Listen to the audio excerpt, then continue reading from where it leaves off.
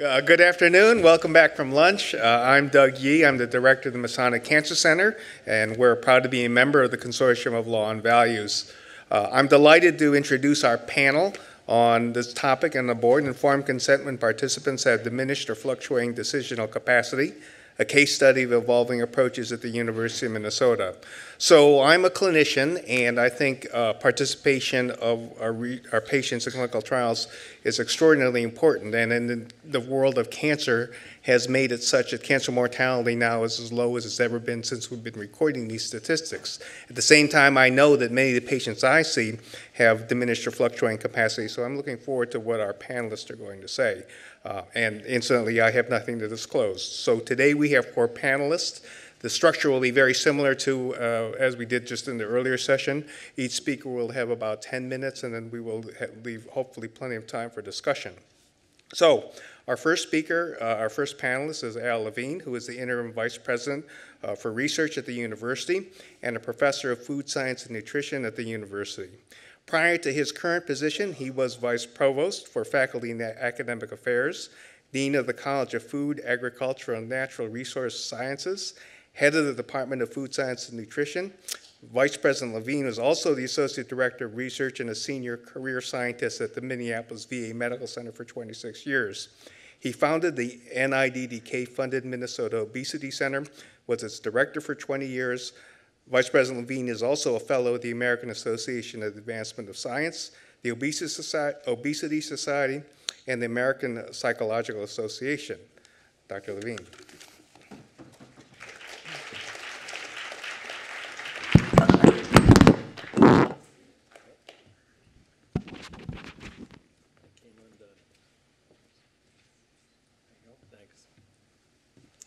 Good afternoon, everyone. Yeah, I've been trying out all these jobs to try to find the one I like the best. I think I'm getting old enough that I found my last one. Um, this is an interesting topic for somebody like me who's worked mostly with animals most of my career. But I was, for 26 years, 16 of the 26 years at the VA, I helped run the research service and heard a lot about the human trials and watched the changes over the years in the way we take a close look at how we do our trials. And so this, you know, my history in this area, I've done some human research, never on vulnerable populations or those with diminished capacity.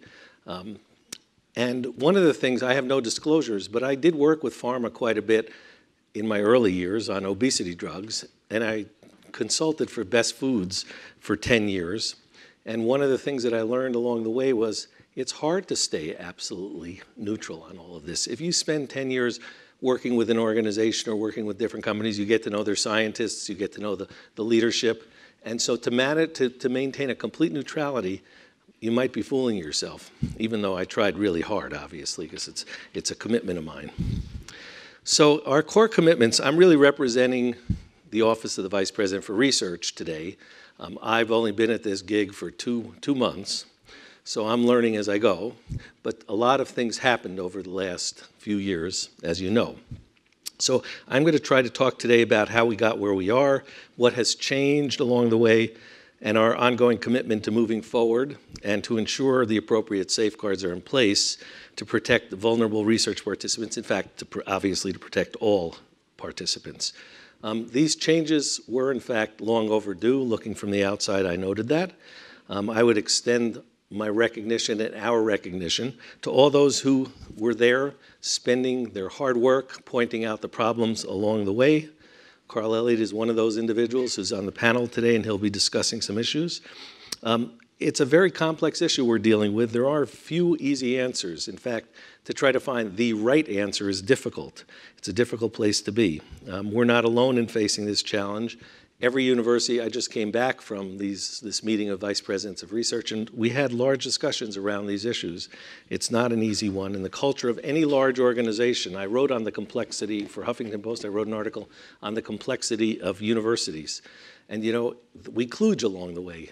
We don't rebuild at universities. We tend to add a room on. It's like going through your, your room to get to your mother-in-law's room, to get to the bathroom when you build a house and keep on bringing in family. So it's, it's not an easy one. Um, how did we get where we are today? Um, I want to start off with a, a little bit of a brief review of that. It starts with a story that many of you are familiar with. In 2004, Dan Markingson, a relatively young man, committed suicide while he was participating in a drug trial here at the University of Minnesota. The initial investigations that were done reassured our faculty and our leadership that everything was done okay, but it ended tragically. Um, that is, his suicide, obviously. So the ongoing advocacy of some of the members of our community here, I mentioned Carl Elliott, Leigh Turner, there's others who were involved. Arne Carlson got involved as a former governor. Um, the legislature got involved. And so in response to that, consequently, two years ago, the university committed to doing a thorough investigation of this through an external panel of experts from AHRP. Um, the Association for Accreditation of Human Research Protection provided the administrative report for that for that review, and it was um, organized at, and they did the administrative review, but we had panelists along there. So how have things changed at this university? Well, the external panel's charge did an evaluation, and President Eric Kaler said that the intent of this review is to ensure that the university's process for clinical research on human subjects meets or surpasses the established best practices and norms, and that we wanted to be beyond reproach on this. Um, the external panel was provided access to all of our policies, to our personnel records related to human research, and the, a mere 63 recommendations were made. So that tells you something was not absolutely perfect along the way. The areas of focus in these recommendations fall into these categories of institutional review board, membership and review processes, um, the education and training, scientific review, monitoring, engagement, research subjects and community, consent, culture, and leadership. So a good deal of areas of interest that we had to deal, we had to make changes in. Um, to create such a culture of ethics, we worked collaboratively with more than 30 U of M and community groups around a shared set of values to try to implement all of the recommendations that were made for improvement.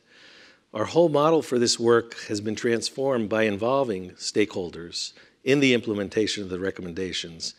Um, such representations were from the community, the Center for Bioethics, Clinical and Translational Science Institute, the Academic Health Center, Fairview and Gillette, and representatives um, from the Human Research Protection Program, more than 30 that were involved.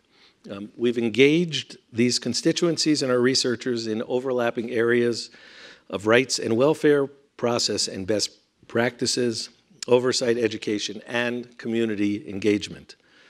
So virtually nothing in the program was going to be left untouched in some way. It doesn't mean that we've ended and made everything perfect at this point. We're still looking carefully. We've listened to our critics, we've taken the suggestions, and as of today, we can report that we've implemented these 63 recommendations coming out of the review it took a year and a half to do it, which for a university, even though we move slowly, we moved faster on this. So this is, we hope this is representative of the commitment that we're going to continue to do the work in this area. So our commitments, investments in the infrastructure, policy changes, ongoing monitoring, human research protection program, advisory committee, education advisory group, community involvement, and a community oversight board. Um, so I'll focus on a few of these things and show how things changed along the way. There were significant new funding and resources that were put into this. You can't do this kind of change without putting some real funding into this. And we, they were allocated to the um, HRPP to ensure that this work continues and is sustainable. It allowed for restructuring of this and launching of our new enterprise system called Ethos, which will be an electronic system that Dr. Biros will uh, tell us more about in detail. Um, several policy changes were implemented along the way. For example, a policy on the capacity to consent to, res to research established requirements for investigators who plan to enroll adults with absent, diminished, or fluctuating capacity to consent. And that fluctuating capacity is an important thing to think about. It's not always stable. A policy also was implemented that puts restrictions on the recruitment and enrollment of adult participants under court jurisdiction, including individuals subject to a commitment petition, and for those individuals temporarily confined, involuntarily, including but not limited to the 72 hour emergency admission hole, which this practice was subsequently banned by the legislature on that. So at this point, let me see. I'm, I'm sticking with the commitments. I have a few other ones to talk about. Um, a plan is also in place for ongoing monitoring of human research that involves a collaboration between the representatives I mentioned before to ensure the safety of the participants. We launched the HRPP Advisory Committee, Human Research Protection Program Advisory Committee. It includes comprehensive representation from the university, some of our health partners, Fairview and Gillette, and members from the research community. Um, Michelle will talk more about this in her presentation. And we also launched the Education Advisory Group to coordinate the development, delivery, and evaluation of human research protection training. And finally, we have a group from the Community Oversight Board that is also representing this effort. And they are working together to try to find their mission in this whole approach. And I've gone to their meeting and working with it. So, in conclusion, we're trying to commit to those safety and dignity of research, having safety and dignity for our research participants. We're committed to finding these answers, treatments to help alleviating suffering. Of course, when you're dealing with vulnerable populations and you're dealing with pharmaceutical industry and you're dealing with government regulations, it's not simple, right? And the safest course could be let's just not do the research. There's no risk then. But of course, we hear from the families of vulnerable populations that they would like help with these individuals. And one has to try, and I would trust that those chemists that work for pharmaceutical companies are not doing this only for money along the way. Maybe their marketing guys do it more for that, but a lot of the scientists I've met are trying their best to yield those products that are going to help the population. And so they, these families want a better and more effective treatment. We're working, doing nothing really would be a disservice at this point. So we have to remain vigilant. We have to keep trying our best. We have to put a great deal of energy and resources into here. And as I've been told by individuals, to do the right thing. Defining what the right thing is, is the challenge, right? That's the real challenge. So I'm pleased to be here today and hope that we're setting the precedent for doing work in this area in a reasonable and honorable fashion. Thanks so much.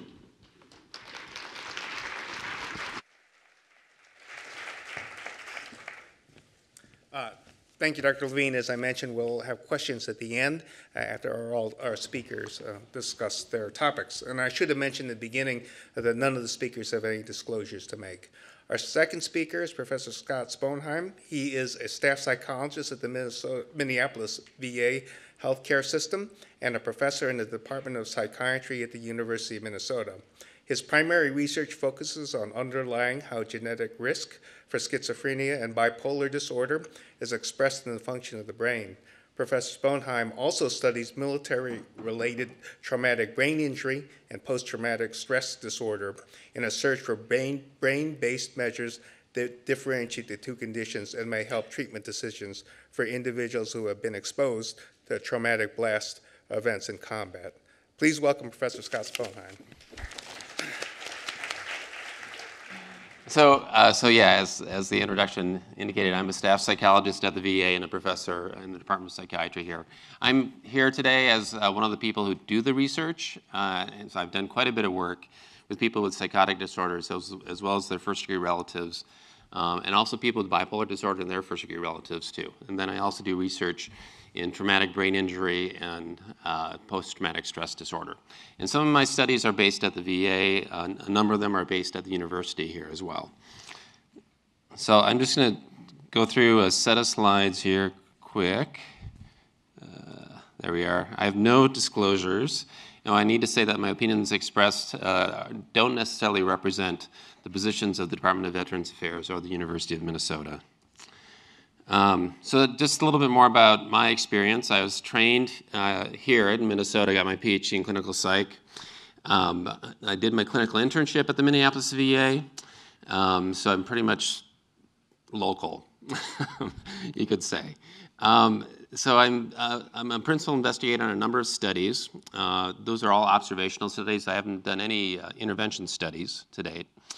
Uh, my VA funding has been through the VA since 1995. Um, been very fortunate to be able to accumulate a large database um, of, uh, of um, measures uh, not, about 900 individuals, some of them affected by severe and persistent mental disorders, um, but then also their first degree relatives because we're interested in the genetics of these disorders, and then also healthy control participants.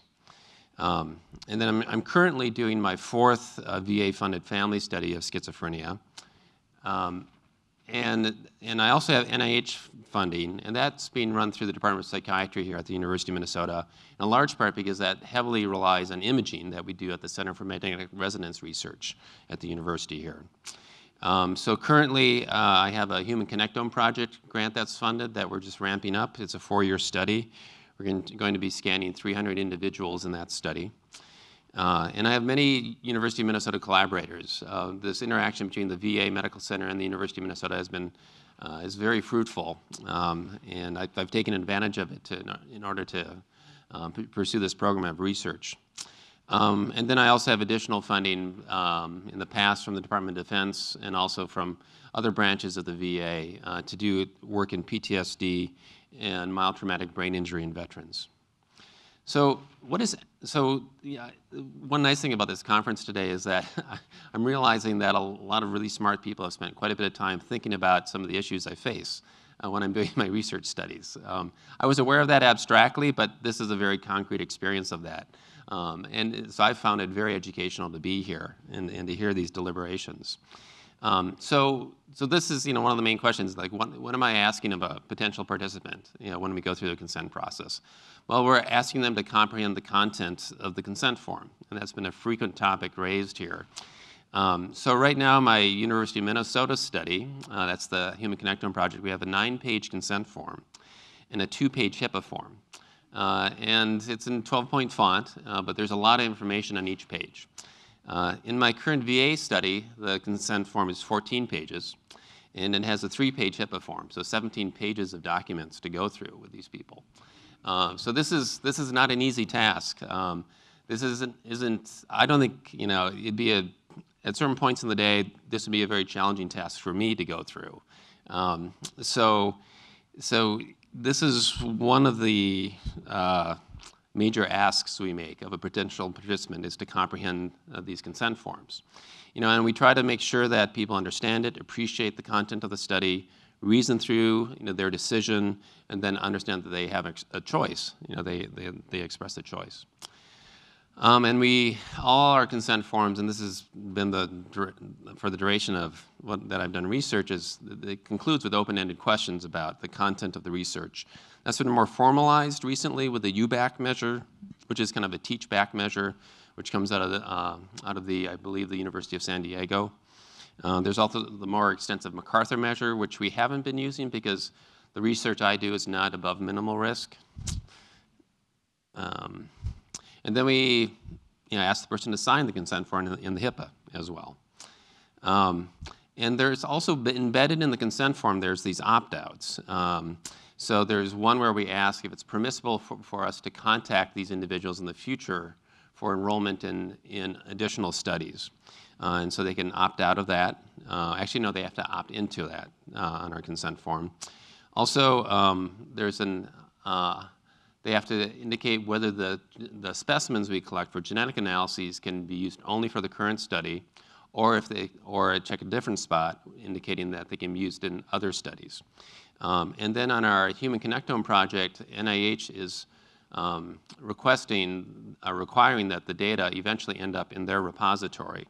So um, there's another um, uh, part of the form that indicates that the participant is agreeing for that, their data to eventually end up in a de-identified way with uh, NIMH.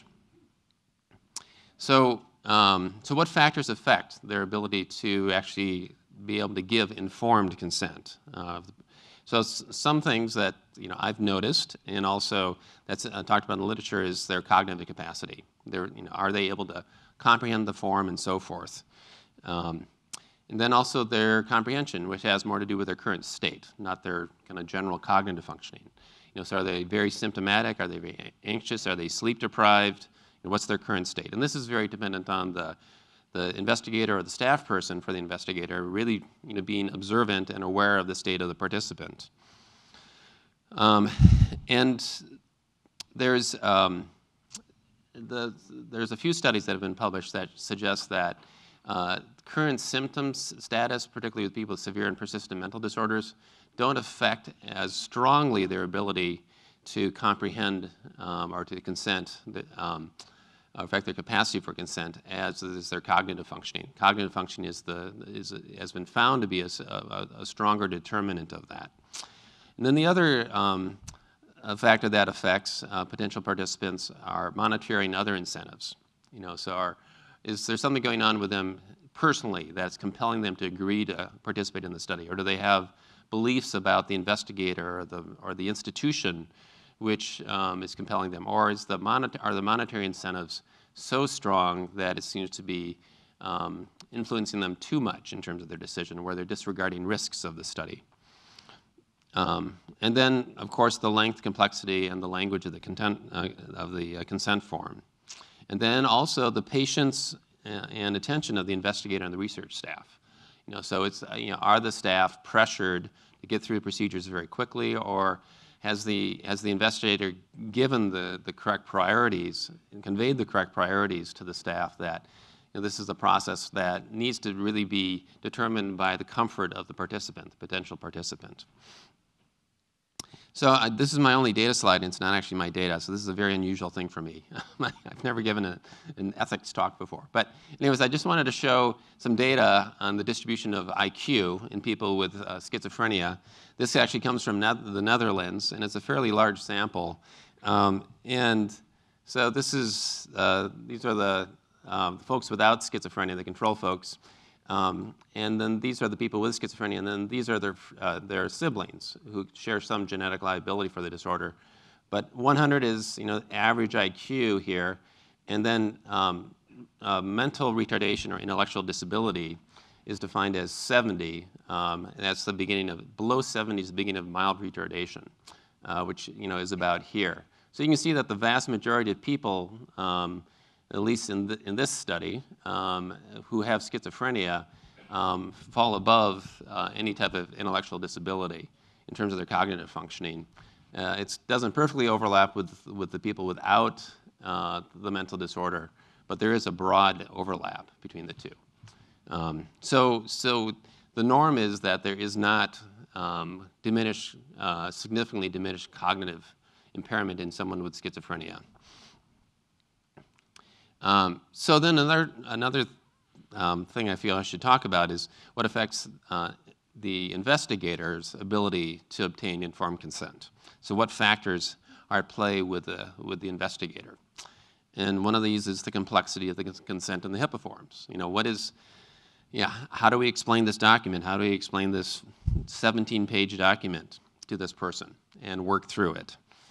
Um, also, the incentives that are at play with the investigator or the investigator's staff. Um, those could, the monetary incentives, um, they used to be more direct, particularly with ph pharma studies. Um, those uh, those uh, incentives, those monetary, those direct monetary incentives, have been somewhat abated as of late. Um, but then there's also other, you know, incentives as well, being able to, you know, satisfy recruitment expectations from your sponsor and, the, and, and so forth. Um, and then also the training of the staff. You know, so have the staff um, been trained, the ones who are doing the consenting process, have they been trained to be attentive to the state of the potential participant, and to um, and have they been taught in how to use the instruments? The IRB offers some training materials, but you know, in the end, it's really what the pri the priorities that are conveyed by the investigator in terms of how those should be um, how they should be implemented in actually carrying out the work. Um, and then another factor is regulatory fatigue of the investigator and staff. Um, you know, doing these studies, some days we're just inundated with regulatory demands to the point where we're actually not doing research. We're just doing regulation for research. Um, and, uh, and usually with every one of my grants, there's usually one person's almost full FTE that is taken up by dealing with regulatory issues. Um, some of that's necessary, but in areas where there's, you know, it's excessive or it, or it could be trimmed some, that would be wonderful.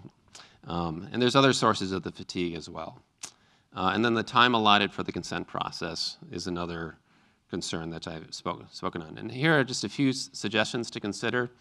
Um, so oftentimes there's this somewhat uh, uh, um, there's some friction in the relationship between the investigator and the IRB.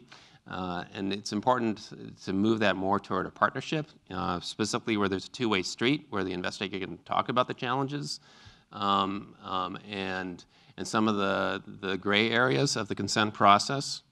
Um, also consider alternative formats for, for conveying study information. We've talked a little bit about that. Um, and then monitor the incentives you know, that are at play with the PI, the staff, and also the participants. And that's all I have for you. Thank you very much. Our third speaker is Professor Carl Elliott. He's a professor in the Center for Bioethics in the Department of Pediatrics and an affiliate faculty member in the Department of Philosophy and the School of Journalism and Mass Communication. He is an author of uh, editor, author or editor of seven books, including Adventures on the Dark Side of Medicine and Better Than Well: American Medicine Meets the American Dream. His articles have also appeared in the New Yorker, the Atlantic Monthly, the London Review of Books, Mother Jones, New York Times, and the New England Journal of Medicine.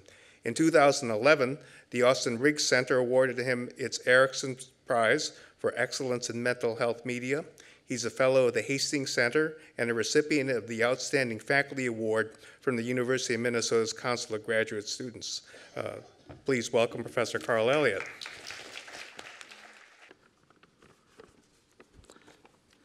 Feel a little bit like um, Banquo's ghost at the feast. I'm here to make you uncomfortable. I'm not sure who gets to be Macbeth in that uh, illusion. So, uh, this is supposed to be a panel on uh, evolving approaches to consent at the U. I want to talk about an approach that hasn't evolved. This is the case of a man named um, Robert Huber. Some of you will know this. For those of you who don't, uh, let me just go through it for you. So, in July of 20, 2007, Robert um, went to the Fairview emergency room. Feeling panicked, his, his ears were ringing, and uh, he thought he might be hearing voices. So, when he got there, he was admitted and involuntarily confined uh, under an emergency 72 hour emergency hold.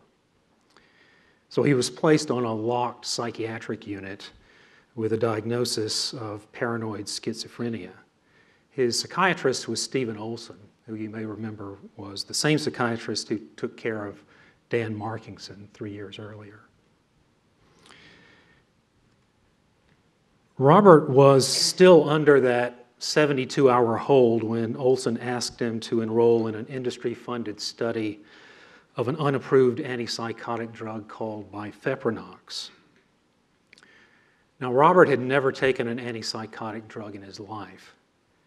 And now the first one he's being asked to take is an experimental one that hasn't yet been approved by the FDA. He agreed to do the study um, because he thought he didn't have a choice. He told a reporter later, they say, You've got a giant medical bill, and if you do the research, you won't have this giant medical bill. He says he was told that the drug was safe, but uh, in fact, the side effects turned out to be so bad that he considered killing himself. He went to the Fairview emergency room three times. Once he was taken by ambulance. In his chart, Olson wrote that his side effects were psychosomatic. Several weeks into the study, the FDA rejected the drug. Robert wasn't told this. In fact, none of the subjects in the study were told this. Turned out that a research subject in Europe, a previously healthy subject, had died of liver failure very shortly after taking the drug. Several months after that, the sponsor halted all bifeprunox studies, including the one here at the U.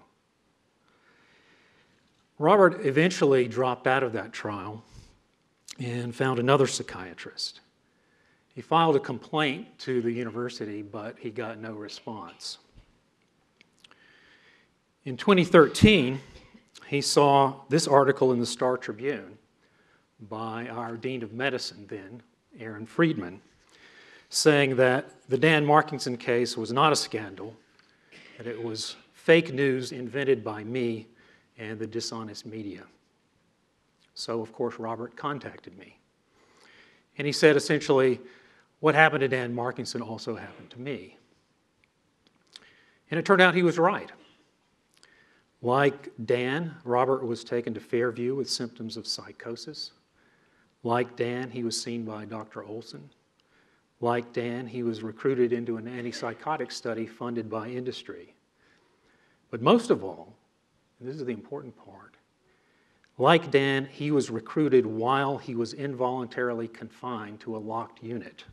He couldn't leave. And the person, person holding the keys to the lock was the one asking him to enroll in the study. Now, you'll remember, I hope, that this was the key issue in the Dan Markingson case compromised consent. Dan was recruited while he was under a civil commitment order. That's why the Minnesota legislature passed Dan's Law to protect patients like that. That's why psychiatric studies here were suspended in 2015. That's why we're all here today. And yet, from top to bottom, from dean to attorneys to the IRB, University of Minnesota officials are in complete agreement that Robert's consent was completely voluntary and uncoerced, and that there were no major ethical violations in his case. So let me just go through some of that to show you what I mean. Here's how the university first responded to the press not by defending what it did, but by accessing Robert's medical records and then using his psychiatric history to attack him. They said because of that psychiatric history, uh, he couldn't be believed. Shortly after that, I asked Brooks Jackson, the current dean of medicine, to look into the case. Here's what he said Robert doesn't deserve any apologies. When it became clear that the U wasn't going to do anything about this case, both Robert and I filed separate complaints with the IRB. And then we waited. We actually waited for 14 months for a reply. And the reason it took so long is that the university hired an outside consulting firm to review the case, along with the IRB, at a cost of $21,000. And yet, neither the firm nor the IRB ever actually bothered to interview Robert.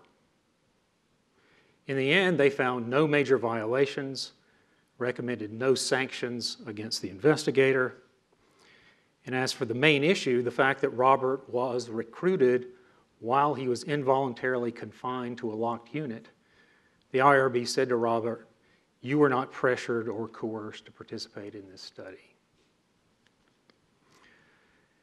Now, you might think, well, that was back in the old days. That was way back in 2015. Everything's different now, right?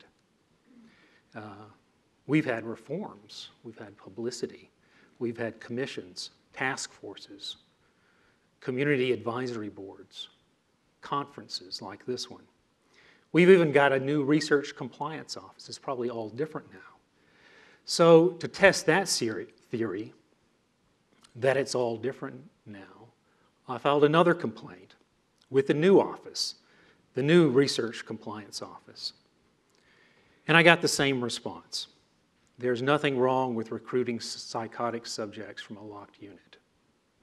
So the case is closed yet again. Now, I actually don't have a lot to say about Robert's case. I think the ethical problem is pretty self evident. We've been through this all before with Dan Markingson's case. But I will say this you know, it's really not that hard to do the right thing. It just takes a little kindness. That's all most people want. If you make a mistake, if you treat somebody badly, you just say, I'm sorry. I'm sorry. I shouldn't have done it. You were right. That's all. It's not hard.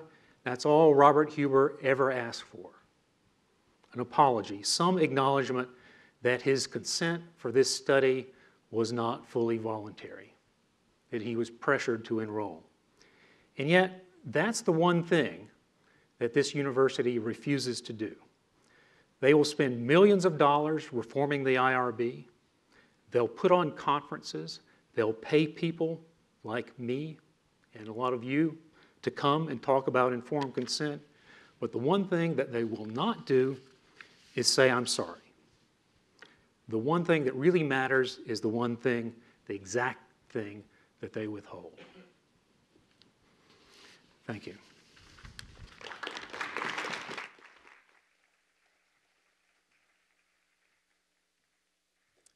Um, Thank you very much. Our final speaker for this session before we get to the questions is Professor Michelle Biros. She is the Interim Director, Head, and Research Director of the Department of Emergency Medicine and Chair of the Medical School Institutional Review Board at the University of Minnesota, and also has a new role as the Vulnerable Subjects Advisor to the IRB. She's an elected member of the National Academy of Medicine and past editor in chief for Academic Emergency Medicine. She's currently principal investigator for the University of Minnesota Hub of National Institutes of Neurologic Disorders and Stroke, funded Neurologic Emergencies Treatment Trials Network. She's also co-PI of the University of Minnesota's Regional Coordinating Center of the NINDS-funded StrokeNet. She's, and uh, please welcome uh, Professor Michelle Biros. Thank you. Thank you. Um, first of all, I would like to thank all of the people who have preceded me in this conference to help point out some of the reasons that it was essential for us to look at renewal of the Human Subjects Protection Program at the University of Minnesota.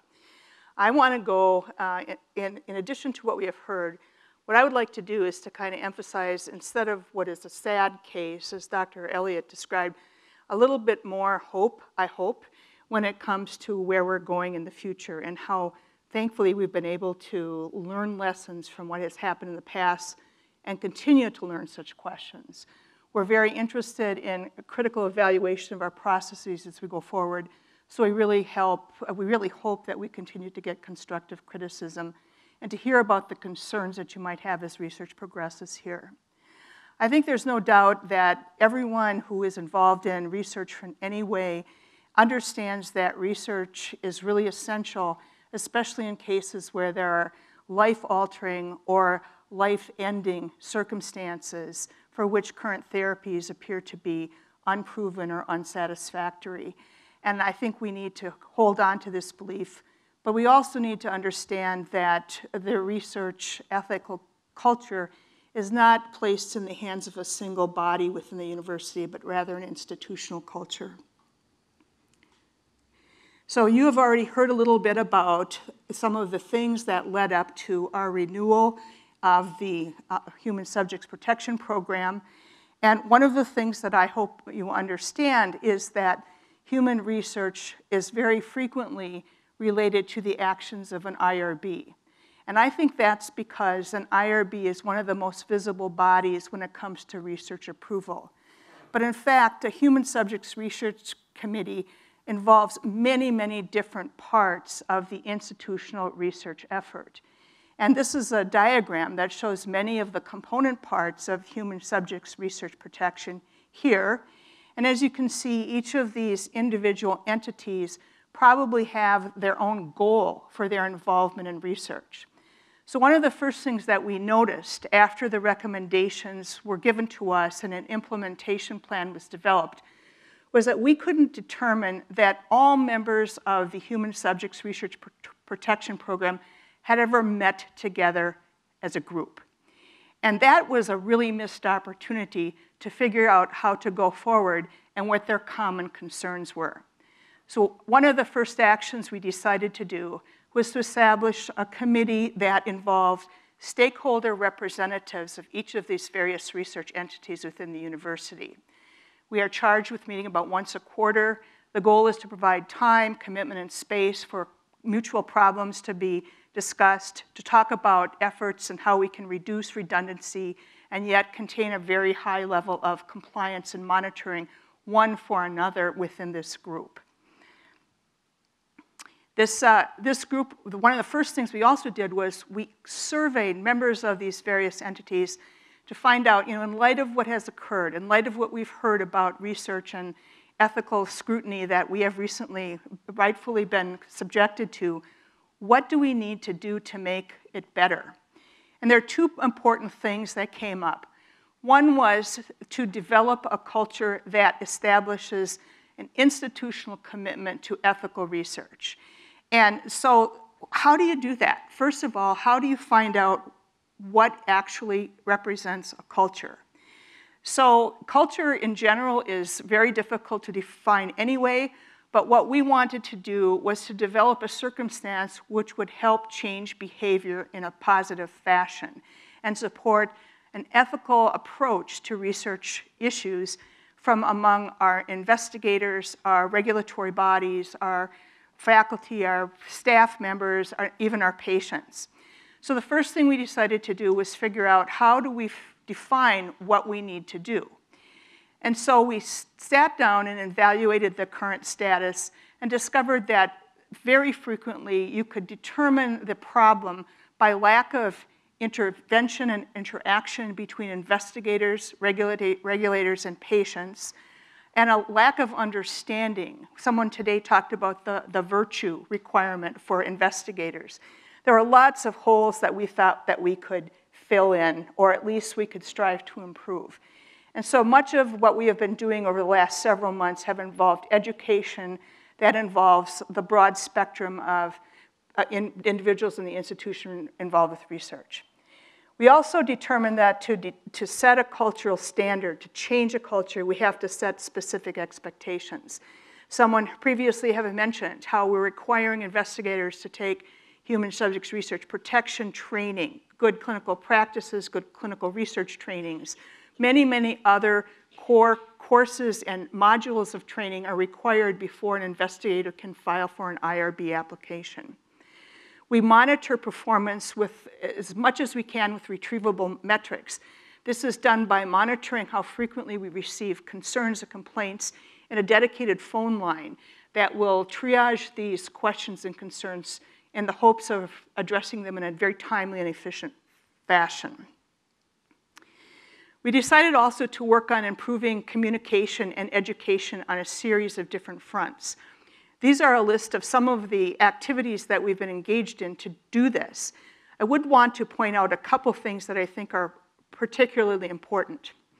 One of the things we learned was that the IRB panels who review research were very overburdened with their agendas. So for instance, because they only met one time per week, they would have as much, they would have very, very long meetings that had very, very loaded agendas. This meant that IRB members had very little time to have substantial, thoughtful discussions of true ethical issues. Now remember, the IRB gets between 1,200 and 1,800 actionable items every month.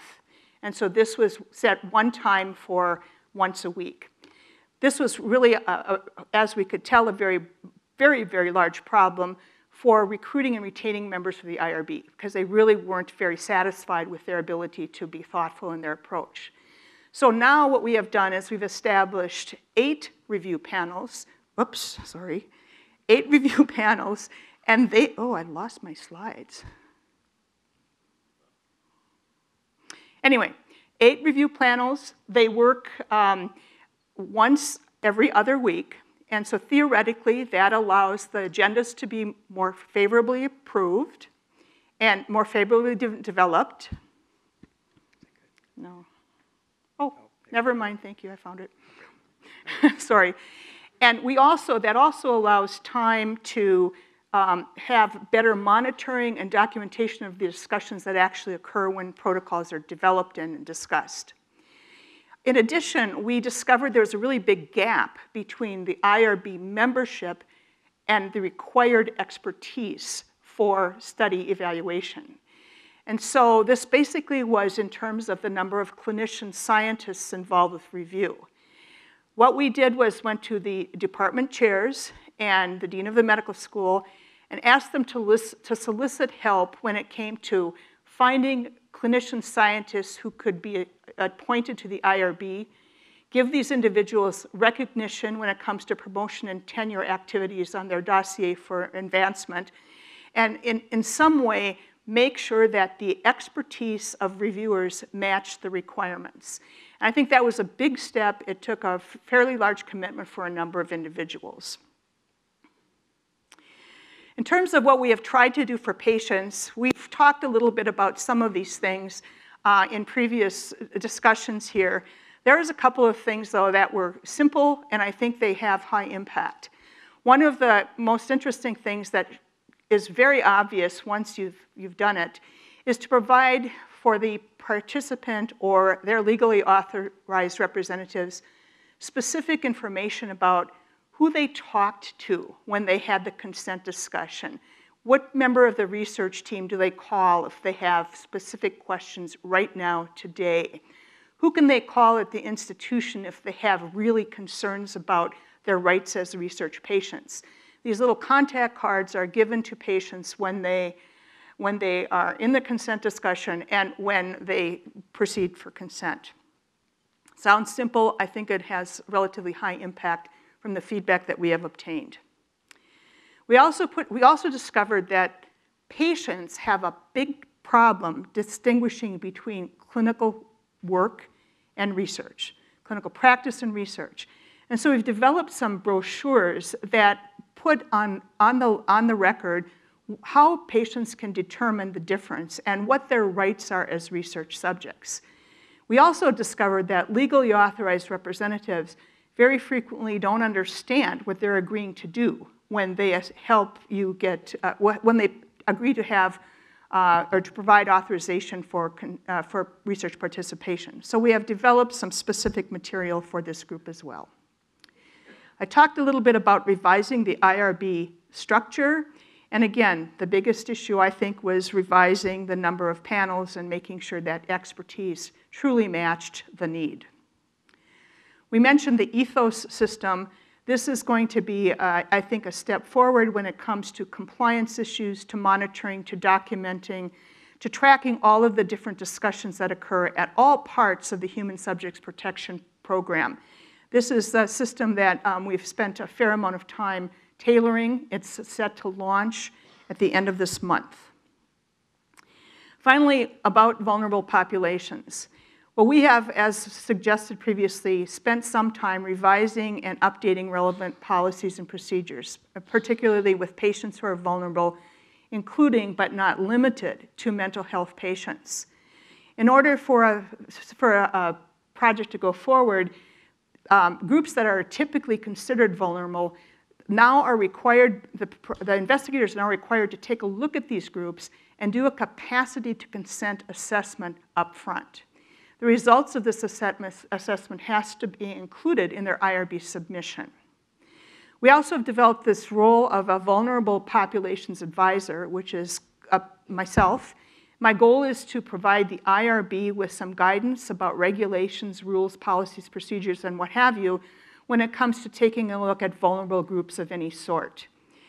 And finally, one of the things that I think is, is got a lot of potential here is a new tool that we have developed that is called Strategies for Addressing Vulnerabilities. This is a tool that is applied by the investigator to their protocol. It asks them to classify the type of vulnerability this individual has cognitive impairment, stress, situational impairment, medications, typical medical conditions that cause vulnerability and so forth. The investigator then has to determine in this patient group who is the target of my study, what is the likelihood that they lack capacity at the time of initial consent? What is the likelihood that capacity can change, diminish, fluctuate over time? And finally, what is the risk of this patient in this study? When you take these things together, this tool will kick out a score. The investigator has to report this to the IRB, but the tool also provides investigators with some options about how to address these issues within the context of the protocol. Now, in order to make sure that vulnerabilities, risk assessments, and what have you are not underestimated by an investigator, the same tool will be applied by the IRB analysts of, before the patient, before the protocol is submitted to the IRB, in hopes that we can heighten the awareness of how vulnerability and risk assessment and fluctuating capacity need to very carefully be considered as we move forward with looking at specific protocols. So in, in summary, I would like to say that changing policies and procedures and practice takes a lot of work, but changing culture takes a lot of time. And we're in the process of that. We don't anticipate ever being done with the process of developing an ethical research culture for the University of Minnesota. Thank you.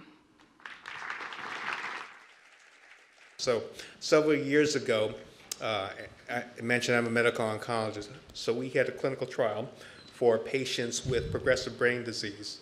Uh, this was a new drug that uh, was already or on its pathway to approval for treatment of disease outside the brain.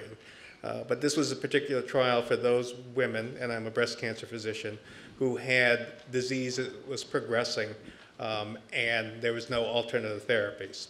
So I guess I would start with the beginning statement and ask the question, was this a vulnerable patient population because of the things that Dr. Sponheim mentioned? They were not cognitively completely intact because they had previously had whole brain radiation and there are clear deficits there. Um, the other option was do nothing and go to palliative care, end of life care. Uh, so was there, are, they equivalent to the, the psychiatric patient who's locked in and can't really uh, involuntary uh, um, um, hospitalization and can't really give consent because of that capacity. And finally, you know, the drug did not get, get approval. It was a negative trial ultimately. And as soon as we knew that all the patients who were continuing on the drug were informed of that uh, and had alternative care. So I just wanted to start with the opinion, should we be even doing trials in that situation where patients have sort of no other options other than to participate uh, on a study because it represents a version of the, the Huber uh, situation. And secondly, and this is where I ask the IRB, what do I need to do as a practitioner to make sure that the patient actually can give consent? So actually, I, would like to address that briefly. I think this really is a, a very interesting circumstance that points to a broader issue. I think it's important to determine the, to realize that vulnerable patient groups sometimes have plenty of capacity to agree, to consent. And the idea is the capacity assessment of this person in front of you. you know, we, can't make a, we can't make an assumption that everyone, for instance, who is in excruciating pain can't engage in the consent process. That would be cheating on our part and not giving the benefit of the doubt to the person. So I think there's two issues at, at hand. Vulnerability, which clearly I believe a patient with a devastating life-threatening disease is a vulnerable person, but the capacity consent is something that you need to assess. That, in, that requires a lot of integrity of the, the physician investigator. It requires tools that can actually help you determine capacity. And then it requires a lot of introspection and thought when it comes to how you would approach that patient to explain the study. I think the, the other thing I would, uh, I would ask is, is there an alternative population that, for whom there are no questions of cognitive uh, impairment that you could do the, the study on? Yeah, so I'll just, not to go too far into the, what the rationale for the trial was. So this drug was approved for patients who had disease elsewhere in the body. There was a little bit of preclinical evidence that the drug penetrated into the brain. Uh, for the investigators in the room, most people know patients with brain metastases are excluded from the majority of trials we do, so we don't actually um, include them. But this trial was very specifically designed for people with progressive disease in the brain. And one of the other reasons I bring it up, I'm actually pursuing my selfish reasons because we're about to open another trial with a very similar entry criteria. Um, and I just would like the expert's opinion on can we, can we enroll those patients where there are no other options except to participate in this trial, fully understanding we have no idea if the drug is going to be effective or not. What, what was your sense of capacity in the, in the trial in terms of the individuals, their capacity to consent? I mean, was the cognitive impairment significant enough where you had serious concerns about that? I will say, and I've put my hat on as a busy clinician, yeah. uh, it's hard for us to do that. Uh, we really don't sit down, and we've looked at some of the tools that the IRB has outlined, but it is very hard for us to incorporate that in our, our busy clinical practice. So, uh, to the best of my interview with the patient, and I actually, some of the patients I knew for a long time, and I had less problems with them. Some of the patients were newly referred to us because we were running the trial that I had just met for the first time. And to be quite honest with you, and this was several years ago, we, I didn't do a formal uh, test of capacity. Yeah, I mean, I guess one place I would look is just as, you know, if there's any evidence in the literature that would speak to the level of cognitive functioning, you know, in these individuals overall. And if there's, there's no evidence to su- suggest that there's an impairment in cognitive functioning and therefore not, you know, not compromised capacity, then I wouldn't necessarily, you know, indicate that. Um, But of course, then there's also the, um, kind of this, the state of the individual during the consent process, which the staff would have to be alerted to, to be vigilant about, you know, in terms of, you know, whether there's undue um, influence in some capacity. Question at the front microphone. Hi, my name is Emma Bedore Highland, and I'm here for the second time today, asking a question. Um, so I really appreciated how a lot of times today, people on this panel and earlier brought up this idea of the virtuous researcher, and we've discussed a bit today sort of the efforts that are going on here at the U in order to sort of um, redirect perhaps like a PI's philosophical orientation when it comes to interacting and recruiting for research. But to me, I guess the problem is that that seems very aspirational because if we look at the funding mechanisms and structures more generally for clinical research trials, getting money from pharma or whoever is funding a research project, their motivation might not al- align with what we're trying to put out there with helping patients necessarily. Well, no, that is the goal overall. I guess I should rephrase that to say that how can we extrapolate or use this reorientation um, in order to how is it actually going to work? Like it just seems very aspirational, and how can we make that line up with the demands in order to get money for research practices here? Because I don't see that lining up, and it's a question that speaks to, um, I guess, institutional research more broadly. It's just easy to use what's happened here at the U as an example. I don't know if anybody can speak to that.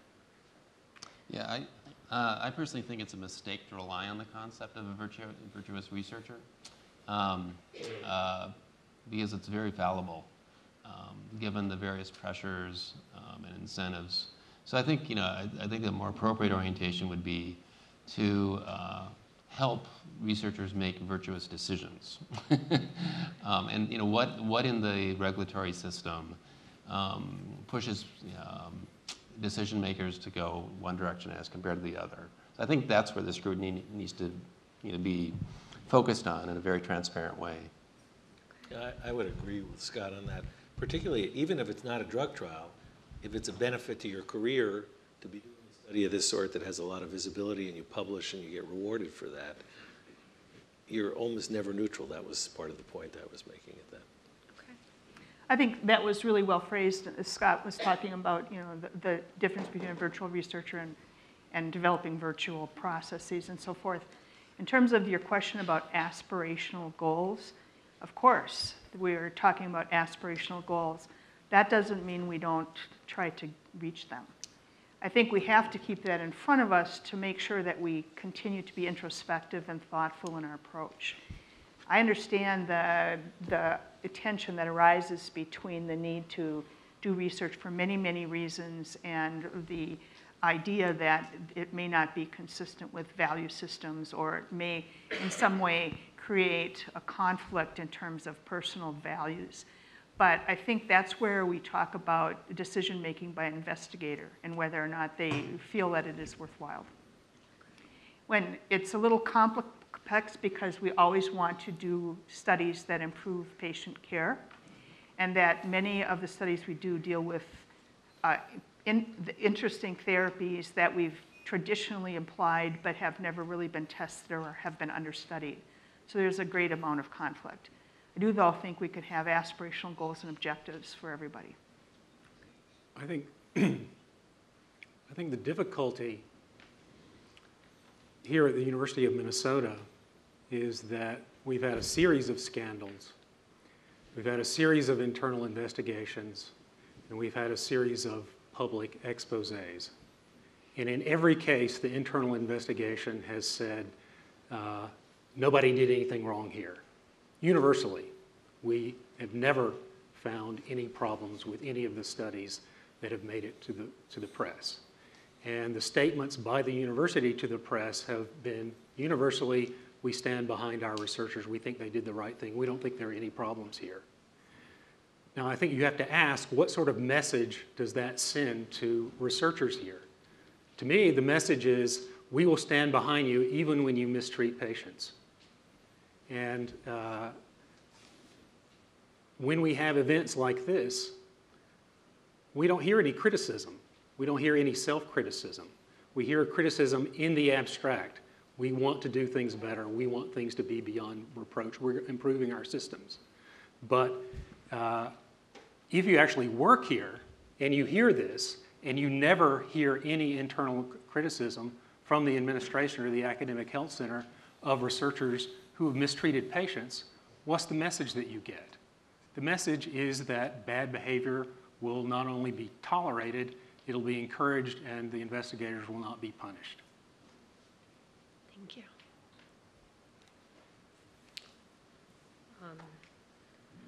Barbara Koenig from UCSF. Um, and Carl, in spite of what you just said, I, I just wanted to uh, salute the university for actually having, you know, having this discussion today, which hopefully will be some sort of step forward as an alum and someone who's been associated with the university. That these, these, this issue has been of huge concern um, to those of us across the country. I often have thought about this over the last several years. Um, you know how much it, it seems to me that there's some issues that are particular to the university and many that are could this, this these are issues that could have happened anywhere because of um, uh, because of certain structural issues that uh, affect the virtue of researchers. So I don't want to give up on the virtuous researcher since I was the one who raised that as a as an issue, and I I think I was deeply susceptible. You know, I was trying to make the point that you are only virtuous if you're in a context that allows and encourages virtue. So.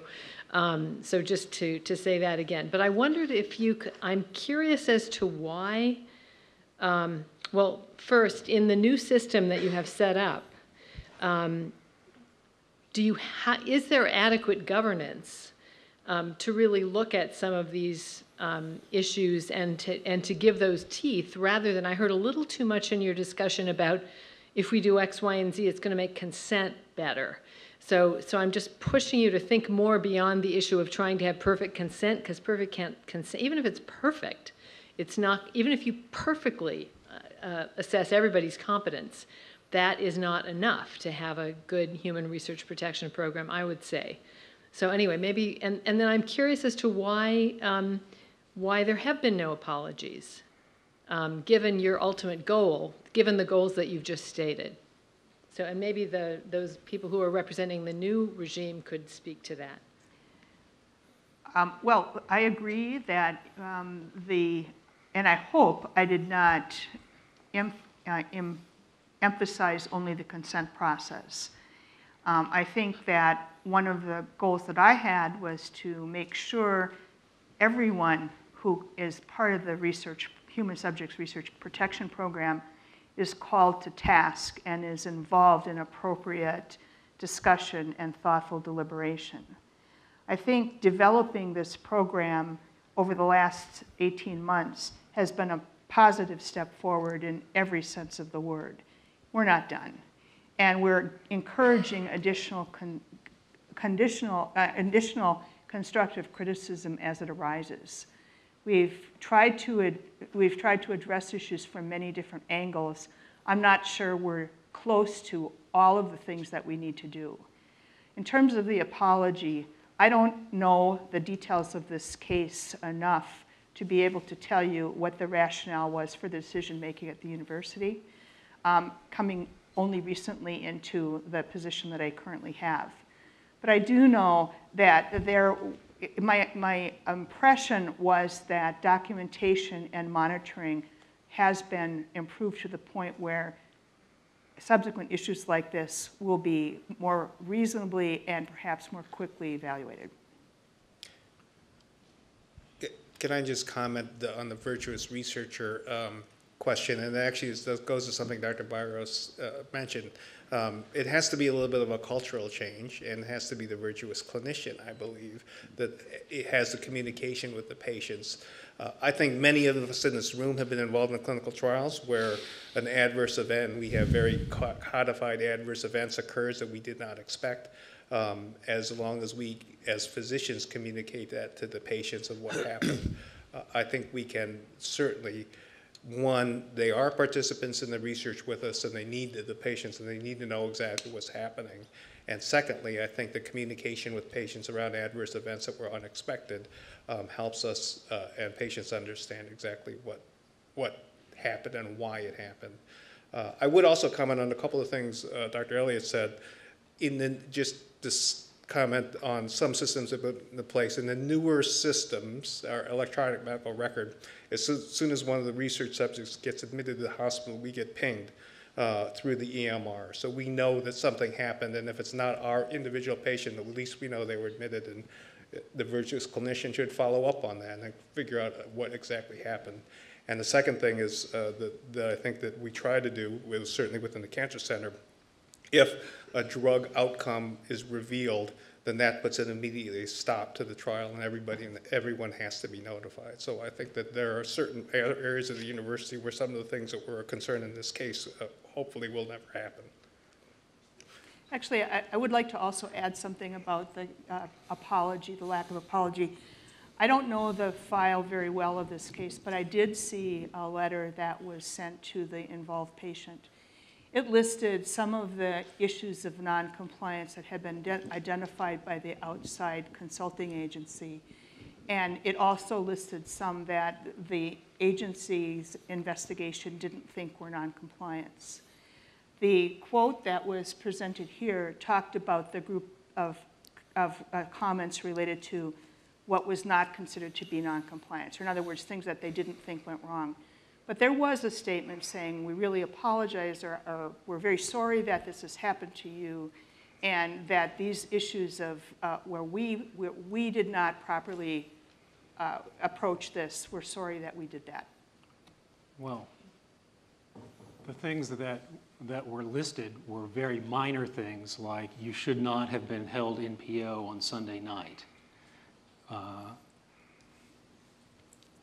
Or uh, you should have been informed when the FDA um, rejected the drug. The major things, and the reason we know that there were no major issues identified is because the IRB declined to sanction the investigator in any way. It was not a satisfactory response. And the main reason it was not a satisfactory response is because the very same issue that was being played out in the press and in the legislature um, and in the legislative auditor's report, that is recruiting a patient who's involuntarily confined to a locked unit by the investigator uh, who has the power to release him because the IRB and the external consulting firm found nothing at all wrong with that. Now, the issue is how is it possible that you could be hammered in the press and being forced to admit that you were wrong in the Markingson case, and yet simultaneously on another case which hasn't made the news, which doesn't have uh, petitions and letters from outside uh, researchers, which doesn't have the backing of a former governor, and which is not being investigated by the legislative auditor's office, why in that case do you refuse to admit that there's anything wrong with this? I mean, it looks very much like uh, the university will, you know, can be beaten into submission by public embarrassment and the state legislature, but when there is there are no newspaper headlines, and when there is no former governor and there is no uh, legislature uh, taking up the cause, the university is still happy to mistreat subjects and then claim that they did nothing wrong. Thank you for those comments. I'm going to take the last two questions. We started eight minutes late, so we're going to go five minutes over. The last two questions. Yeah, so am thinking about the ethics of apology, and it strikes me that one of the um, interesting components of it is that if one does apologize, and I, I'm not clear if the university, I'm from Cleveland, just, but if the university has apologized or not, let's just say for a second the university has a concomitant um, commitment to avoid doing the same thing over again seems like an important part of an apology. So, is it possible today for the Department of Psychiatry here at this university to uh, recruit someone into a study if they are held uh, involuntarily, or would it be permissible for you know you as the new leadership to say we're going to voluntarily refrain and, say our investigators you know may not do that kind of recruitment? It, it does sound to me like an inherently coercive uh, you know structure for getting consent. We're here to talk about uh, you know, best practices in um, informed consent. So, so I'm interested in, in the, if, if that's within the, the scope of, uh, of what might be considered. Well, it's, it's now been banned by the state legislature. So in theory, unless uh, researchers um, are willing to break the law, they're not allowed to do that anymore. Right. I'm just going to take one last question. So if they, they, I think they'll all be around and you can grab them at the break. Uh, hi, my name is Trisha Karstedt. I'm from the CTSI. Um, along a slightly different route, um, I'm curious to know how um, you balance the rights and welfare of people with mental illness while at the same time kind of the harmful social stigma of putting them underneath an umbrella of a vulnerable population, um, especially considering about a quarter of the population has some sort of history with mental illness um, and they go about their lives signing contracts and things like that all the time. Um, it's kind of harsh to say that someone with depression is unable to consent to research where they would be able to consent to a mortgage or a car loan or something like that, but the minute they get within a research setting, they kind of have all these extra hurdles to jump through. I think that again goes to the issue of vulnerability versus capacity assessment. Vulnerability doesn't necessarily mean you don't have capacity to decision make. I guess the thing that I worry the most about is that we're not um, say, doing capacity to consent assessments with uh, healthy controls in, say, like physical activity studies. Although the people who are signing up as like a healthy person who is physically healthy may also have mental illness that isn't screened for or exclusionary. Yeah, I think you're, you're correct in that specific population groups are traditionally considered vulnerable. And those are the groups that have been traditionally subjected to capacity assessment. I think you're very, you're very right. If the person doesn't belong to those traditional groups, we may, may not feel the need to assess capacity because we assume it. And is the university doing anything to kind of offset the stigma of that? I mean, there is a huge mental illness stigma, and people are afraid to talk about it. Um, and so it is kind of disheartening as someone with a background in psychology to hear that anyone with any sort of mental illness is considered a vulnerable population. Um, and, and again, I think these are traditional, they're traditional categories of vulnerability, but what I think we want investigators to do is to look at the person right in front of us. I can't address what the university is doing in order to avoid a stigma of mental illness. I only say that from the, from the uh, perspective of the Human Subjects Research Protection Program. We're trying very hard to figure out how to handle things like this.